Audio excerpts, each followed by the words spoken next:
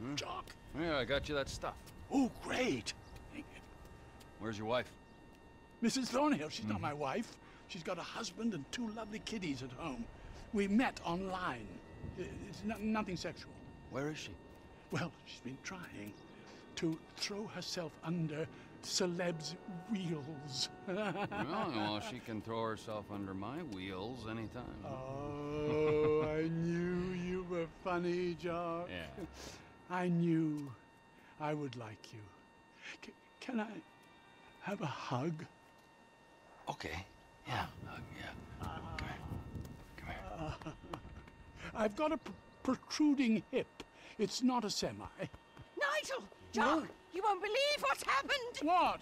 Only Al Di walking. He actually walks! He They walked walk among us. Well, then what are you freaks waiting for? Well, that's a long story. Of mistaken identity. And a lot of lies. Stalking is not what I would call it. Nor me. I told the judge I thought it was unfair. Yes, anyone's trousers could have come undone at that point. Exactly. Jolly bad luck, and we were such fans.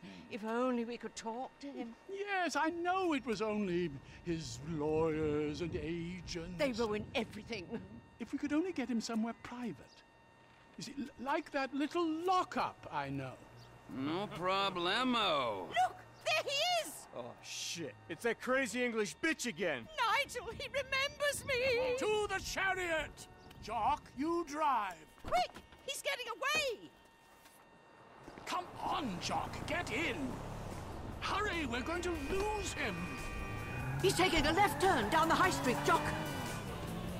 Did you ever imagine we might get a private audience with Al Di Napoli? Only in my wildest dreams. All those nights spent role-playing in Mother's utility room. If only we'd known. I loved him in The Redeemer. Oh, Nigel, do your Al Di Napoli line. This is turban warfare, motherfucker. It's oh dear, poor Jock must think we're battered. Oh, don't be silly. Glad to see you on the proper side of the road, dear boy. I hear that behind. Oh, my word, Jock, do you see that lorry? What the fuck's a lorry? Have a little faith. Anyone would think this was my first kidnapping. What on earth will we feed them? Mrs. Thornhill was throwing herself under cars earlier. You probably eat sushi or quinoa. Is that even how you say it? What if he wants me? Find out! He's going into the car park. The car park. No worries, mate.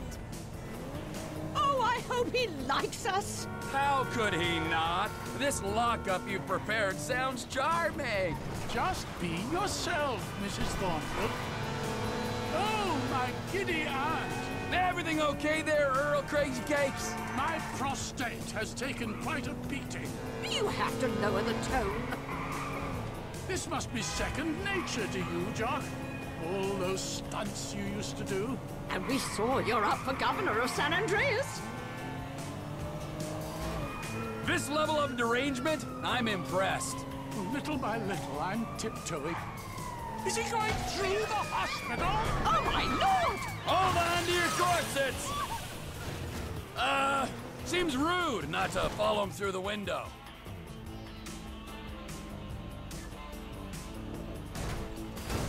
Bloody hell!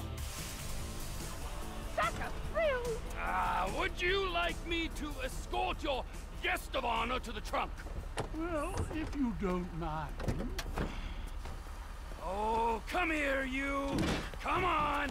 Come on, let me meet your biggest fan, huh? Oh, you're fucking crazy. Oh, it's Get off Di me.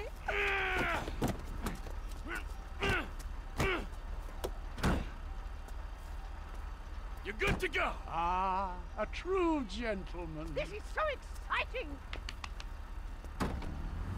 Nut jobs.